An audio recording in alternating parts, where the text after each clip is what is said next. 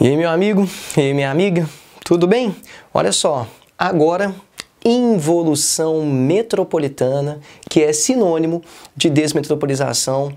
Isso causa muita dúvida nos candidatos aos vestibulares aí, as pessoas que estão fazendo as provas, e a gente vai explicar isso aqui, ó, de forma muito simples, você vai ver. Vai ser tranquilo. Vamos lá. Involução metropolitana ou desmetropolização. Para entendermos isso, eu coloquei um eixo aqui muito importante no Brasil, que é o eixo Rio são Paulo, tá? De um lado a cidade de São Paulo, do outro lado a cidade do Rio, e nós temos aqui uma via que liga essas duas cidades, que é a via Presidente Dutra, tá o nome aqui, olha, Via Dutra. Ao longo da Via Dutra, destaquei algumas cidades, como por exemplo São José dos Campos, importantíssimo, é onde fica o ITA, tem qualificação da mão de obra, tem indústria de ponta, é um tecnopolo, beleza? Produção tecnológica na área aeronáutica, ok? Beleza. Aí tem a cidade aqui de Lorena, tá? Depois já coloquei aqui no Rio de Janeiro a cidade de Resende. A cidade de Resende também qualifica para caramba a mão de obra. Aqui que fica a Academia Militar das Agulhas Negras, né? Nós temos aí um curso superior, principalmente nas áreas de exatas e assim vai.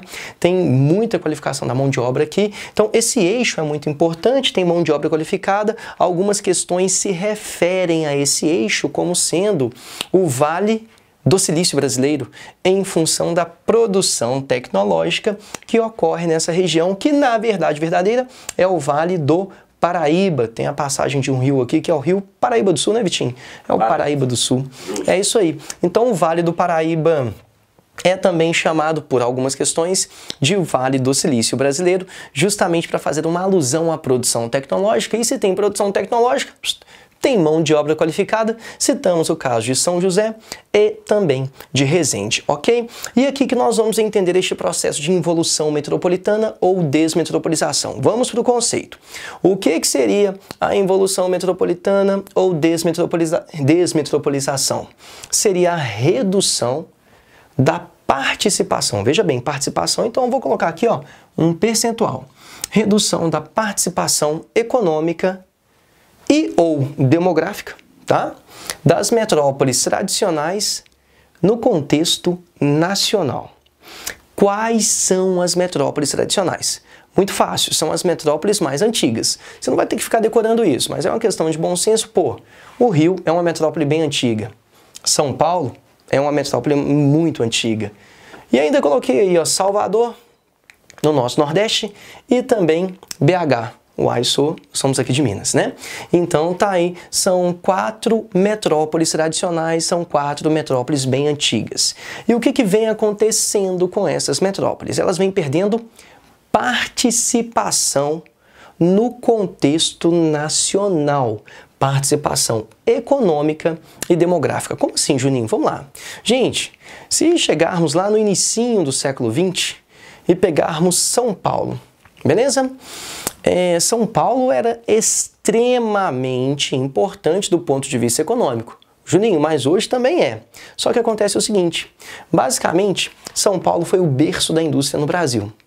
A indústria estava bastante concentrada nessa cidade, na cidade de São Paulo. A gente está falando de metrópole, estamos falando, portanto, de cidades, não é isso? Beleza. Estando muito concentrado na cidade de São Paulo, a participação econômica de São Paulo no contexto brasileiro era muito grande. Vamos criar uma situação aqui de todo o volume de capital movimentado no Brasil, dos 100% de capital que era movimentado no Brasil, um grande percentual era movimentado só em São Paulo. Beleza? O que, que acontece hoje? São Paulo é, obviamente, uma cidade muito mais rica do que a São Paulo do início do século XX. Porém, São Paulo perdeu peso econômico. Por que, que ela perdeu peso econômico? Porque as indústrias foram embora de São Paulo? De jeito nenhum.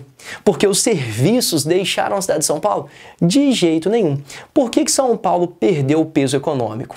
Porque outras cidades receberam investimentos industriais, investimentos econômicos e, consequentemente, cresceram economicamente.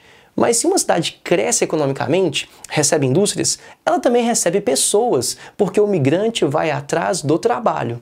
Portanto, algumas cidades cresceram economicamente e demograficamente e ganharam maior percentual econômico. Quais cidades são essas? São, sobretudo, não somente, as cidades médias do Brasil. E eis um exemplo de uma cidade média: São José dos Campos. Uma cidade média também pode ser chamada, pela sua prova, de polo regional. Beleza? Os polos regionais, as cidades médias, apresentam vantagens comparativas. O que, que seria uma vantagem comparativa? Vamos comparar. Olha só, onde a mão de obra é mais barata? Em São Paulo ou em São José dos Campos? Em São José dos Campos. Onde os impostos são mais baratos? Também em São José dos Campos. Onde os imóveis são mais baratos? Quando comparamos São Paulo com São José dos Campos, a tendência é que os imóveis sejam mais baratos em São José dos Campos. Portanto, os novos investimentos industriais tendem a buscar as cidades médias, por apresentarem vantagens comparativas. Só que se os investimentos industriais chegam aqui, os migrantes também buscarão as cidades médias. Logo, as cidades médias ganharão participação percentual econômico e demográfico. Mas se alguém ganha participação econômica e demográfica no Brasil, alguém perde. E quem está perdendo? As metrópoles tradicionais. Daí o termo involução metropolitana. Aí eu te faço uma pergunta: involução metropolitana é ruim? Porque se assim, muita gente fala, nossa, involuiu, piorou. Não. Involução metropolitana é um sinal de que no Brasil a atividade econômica está ficando menos concentrada. E isso é muito bom, porque se a atividade econômica fica menos concentrada, o Brasil fica menos desigual fica menos desigual regionalmente. É só você pensar, há 100 anos, a riqueza do nosso país basicamente estava concentrada em São Paulo, no Rio, em Salvador. Hoje, existem várias cidades do interior do Brasil que saem desse eixo aqui, olha, cidades do Centro-Oeste, cidades do Norte e do próprio Nordeste que cresceram economicamente, ganhando, portanto, participação econômica no Brasil, receberam migrantes, ganharam participação demográfica. Logo, metrópoles tradicionais evoluíram, portanto, a involução metropolitana ou desmetropolização é um processo bom e tem que ser entendido em termos percentuais, não em termos absolutos. Só um desabafo aqui, São Paulo até teve uma certa involução em termos demográficos absolutos. Em um determinado período da história mais recente de São Paulo, a população diminuiu um pouquinho, mas nada que durou muito tempo. Tá? O que acontece é a redução da participação em termos relativos reduziu a participação demográfica no contexto brasileiro, reduziu a participação econômica, evoluiu, desmetropolizou, desmetropolizou Processo bom, processo bom porque mostra que o Brasil está crescendo em outras regiões, tornando-se, portanto, um país menos desigual. Só para fechar, tinha colocado aqui, ó, São Paulo, tendência migratória.